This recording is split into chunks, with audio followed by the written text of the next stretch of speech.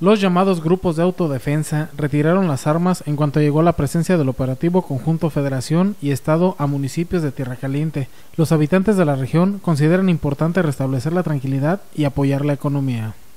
Pues está muy bien porque la economía de aquí de la, de la Ruana está por los suelos, no hay dinero, no estamos olvidados, la verdad. Como parte del servicio social que realiza personal militar en la zona, los habitantes también han llevado sus aparatos electrodomésticos a reparación y otros más han acudido a cortarse el cabello. Aquí traigo mi licuador también. ¿Y por qué no has pasado? Sí, este? ahora es que mi hermano pasó a cortarse el pelo. Los habitantes confirman que con esta presencia también ha llegado dotaciones de medicamentos que son necesarios y no los tenían.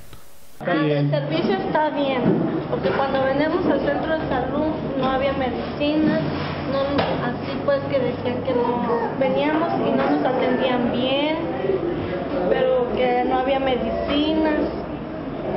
Claro. Y ahorita que está aquí el servicio está muy bien. Además de trabajo social, los agentes del Estado y la Federación realizan labores de vigilancia para evitar que haya personas circundando con armas de fuego o en vehículos robados. Con información de Sandra Sainz, informa COSAR TV.